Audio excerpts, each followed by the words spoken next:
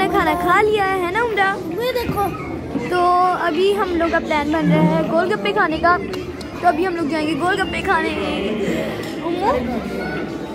आप आपको कैसा लगे आज का खाना? बहुत अच्छा। मज़ा आ गया है।